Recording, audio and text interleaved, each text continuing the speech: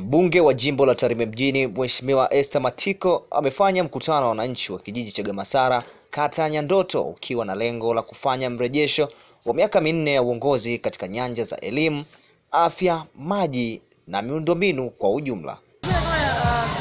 Gamasara mwanzoni utakumbuka pia tuliingia tu madarakani ndio kama mmoja kipaumbele ya kuweza kuinua uchumi wa halmashauri, lakini pia kuweza kuboresha muonekano wa halmashauri halmashauri ya Tarime. Lakini tulikuwa tu kwenye process, ikasemekana kwamba serikali ina mradi ya kimkakati ya kujenga masoko ya kimkakati na za kimkakati. So kama halmashauri tuliamua kusitisha tukisubiria tuweze kupata hizo project kutoka serikalini ambavyo mwaka uh, mwaka wa fedha 2018 tuweza kupata mradi wa soko soko kuu la Tarime mji ambayo kuwa tunapewa karibia milioni 8.6 na kitu, lakini baada ya kubomoa soko na tayari kujenga, serikali ikasema tena imesitisha hiyo miradi.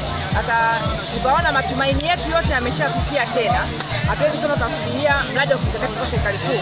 Kama halmashauri kupitia vikao muhimu vya kamati ya fedha, tukaazimia sasa kwamba tuanze rasmi kujenga hilo uh, soko kwa kutoa kandarasi wa choo aanze, alafu baadaye tuweze kuweka miundombinu rafiki ya kuweza mabasi kuingia, na niwatangazie tu wananchi wa Tarime kwamba tumeamua kuchukua huo mradi kama halmashauri na unaenda ku take over soon, nafikiri mwezi Machi au hapo utakuwa umeanza, na Mungu akisaidia, kabla ya Mei itakuwa umeanza kufanya kazi. Tutaweza kufanya hivyo kwa kuweza kupokea mabasi kama walivyofanya ndugu zetu wa halmashauri ya Tarime. Tumeona pale Sirare wameweka, hamna miundombinu ya kuvutia kivu, mradi huo na miundombinu ambayo ni rafiki ya choo labda na vimgahawa kidogo, na baadaye tutaendelea kujenga na wale wadau ambao kwa wameshalipia. Kuna wananchi kwa wameshalipia fedha kuweka vibanda vyao pale, tutawakaribisha rasmi ili waweze kuendelea kujenga vile vibanda, hasa kama hii hii stendi ya kimkakati itakuja kutoka serikali kuu, tutatukuta mbele kwa mbele na kuendelea mradi. Lakini kwa sasa tumeamua kama halmashauri tuna, tunaenda kujenga ile ile ile soko kwa wadau ambao kwa maisha nia kuwa na vibanda pale na watu wa choo tumesha tumeshawatasi wanaanza kujenga. Kwa hiyo niwaambie tu wananchi wa, wa, wa Gamasara na kata Nyandoto na Watanzania wa mji wa Tarime na wale ambao wanakuja kutoka mikoa mbalimbali, tutaanza kutumia stendi ya Gamasara au Kemanga kama inavyojulikana mwaka huu huu. Ah, ni kweli mradi ule ni wa siku nyingi, na halmashauri kama halmashauri kupitia baraza la madiwani waliandikia andiko kwenda serikalini kuomba pesa kwa ajili ya kujenga ule mradi lakini kama unafahamu kwamba miradi ni mingi katika serikali, kwa hiyo tunakwenda kwa awamu. Kwa hiyo huu mradi wetu wa stendi mpya ya Kemange e, katika bajeti e, kwenye bajeti hii haikuweza kupata kibali.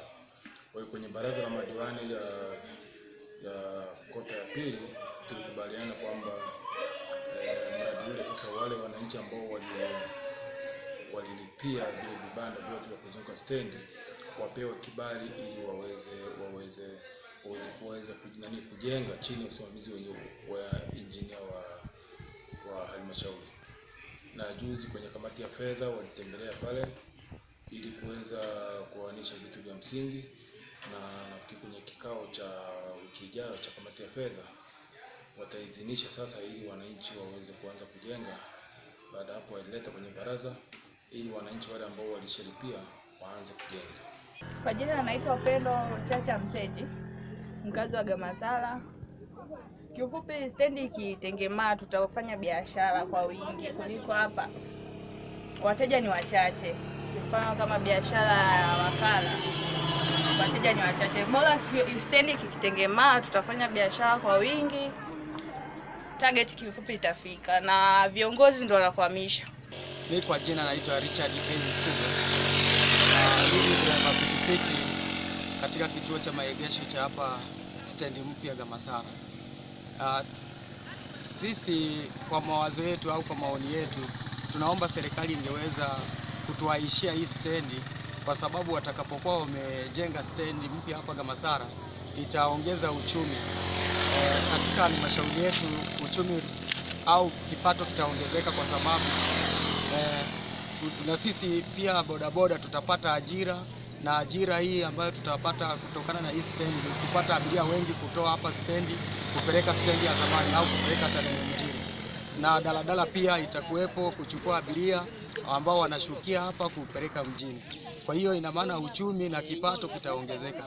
Kwa hiyo tulikuwa tunashauri serikali iweze ku, ku, kunani kuleta hii stendi na iweze kujenga hii stendi halmashauri yetu itaongeza kipato na uchumi utaongezeka ita, ita, itaongezeka. mkazi wa Gamashara, mimi naitwa Neema. Najishughulisha na ndizi na biashara kidogo kidogo. Mimi napenda ningeacha ndizi niendelee na hoteli pale karibu na stendi, maana ndio changamoto. Kuna watu mbalimbali wanakuja, unakuja unawauzia mzigo wako, utakuwa unapata kwa siku moja, unauza unamaliza. Mzigo wako unaleta unamaliza wiki nzima haujauza, na inahitaji una familia ya kutunza. Unaona?